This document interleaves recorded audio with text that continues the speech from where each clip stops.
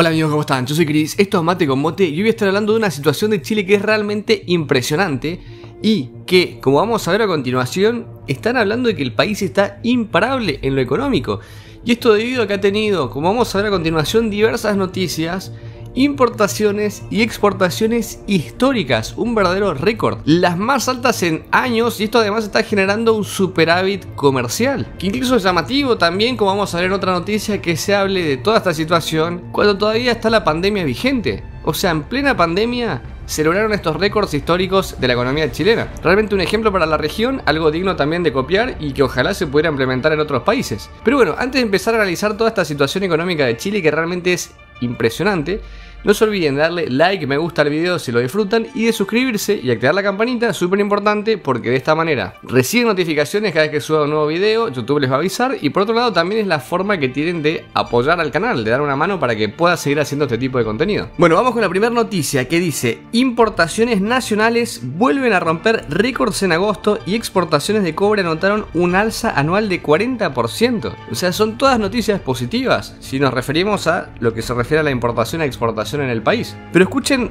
nuevamente, porque esto es lo importante, importaciones nacionales vuelven a romper récord. Y después dice, según el Banco Central, los envíos chilenos al mundo totalizaron 7.822 millones de dólares, el tercer mayor registro histórico, tercero de la historia, o sea, es impresionante, o sea, realmente nos damos cuenta de estos números. Es una verdadera locura y esto va a impactar obviamente en la economía de la gente. Incluso después vamos a hablar más en profundidad, pero se habla de un superávit y acá lo asocian obviamente al tema del cobre, que dice que el cobre volvió a notar un fuerte salto en sus envíos e importaciones que nuevamente rompieron récords. O sea, se están rompiendo récords de importaciones, de exportaciones, de volumen, de incluso hasta este superávit que estamos hablando, son números realmente muy positivos. Pero lo más llamativo de todo esto es que haya sucedido en plena pandemia con todos los problemas que hubo, con gente que estuvo sin trabajar. O sea, se logró buscar una solución a todo esto, pese a los inconvenientes y pese a que en el resto de la región no fue igual. Si hablamos de países del primer mundo, sí, se pudo resolver de una buena manera, pero en Latinoamérica no. Sin embargo, un país como Chile pudo solucionar este tipo de problemas. De todas maneras, es clave entender también que un gran porcentaje debido al cobre. Por ejemplo, acá dice que este mineral representó el 56% del total de las exportaciones nacionales, anotando nuevamente un fuerte salto interanual. Y como les decía, hubo también un superávit en Chile. Miren esta noticia que además, esto lo resalto porque también es interesante.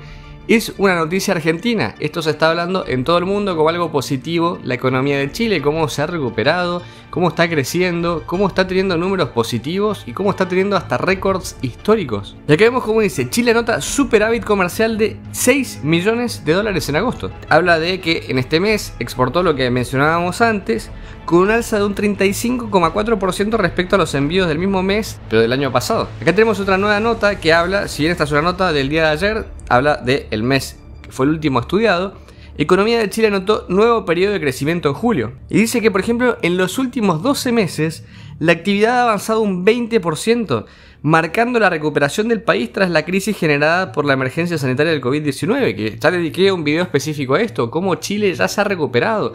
Ha sido el primero de Latinoamérica, uno de los primeros del mundo. Países como Argentina hasta el 2026 no se recuperan.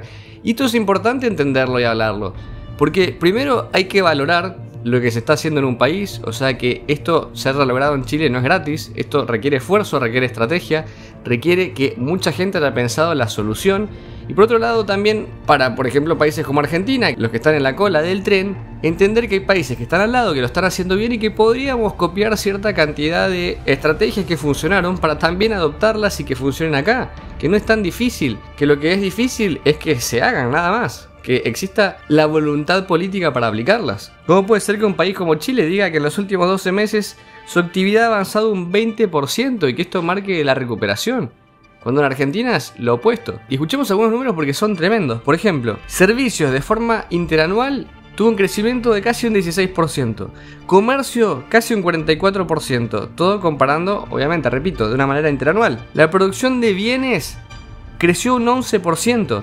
Todo esto dice que gracias también al desempeño que ha tenido la construcción después de que se empezaron a relajar las medidas. Pero, si bien todas las noticias son positivas, eso lo había hablado también en otros videos, se habla de un posible retroceso del PBI y también algo que cada vez veo más noticias, que es un tema, se está transformando en un tema importante, es el alza de la inflación. No a niveles estratosféricos como lo que se vive en Argentina, pero sí ha crecido la inflación porque el gobierno ha salido a emitir. Para obviamente poder financiar todas las ayudas sociales que hubo y esto al parecer fue de una manera descontrolada, si se está viendo que está impactando en la inflación.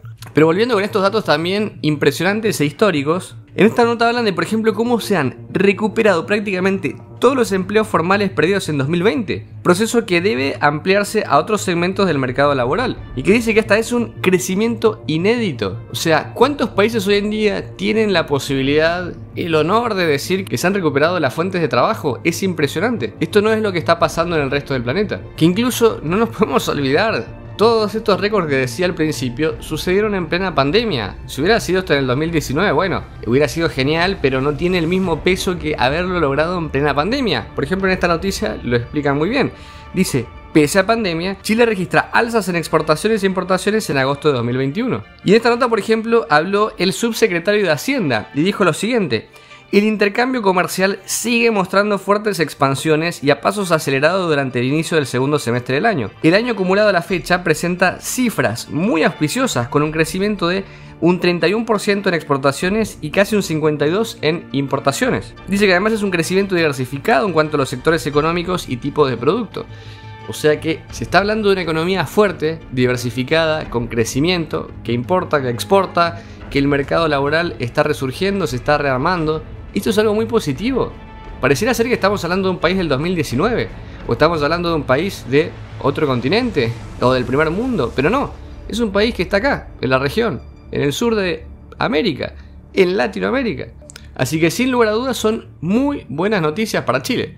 Pero bueno, me gustaría que me digan ustedes en los comentarios qué opinan de toda esta situación, si realmente consideran que todos estos datos que se auguran y todo lo que está pasando son realmente positivos si creen que también hay alguna duda sobre si la economía podría estancarse, el tema de la inflación, qué es lo que podría llegar a pasar que perjudica a la economía por lo menos en el corto o mediano plazo, y todo lo que quieran agregar lo dejan en los comentarios. Si les gustó el video los invito a darle like, me gusta, si les gusta el canal no se olviden de suscribirse y activar la campanita como les decía al principio, no solamente van a recibir las notificaciones cada vez que suba un nuevo video, sino que de esta manera pueden ayudar al canal a que pueda seguir haciendo este tipo de contenido. Acá abajo les dejo el Instagram y nos vemos en un próximo video. Yo soy Chris y esto es Mate con Mote. Hasta la próxima.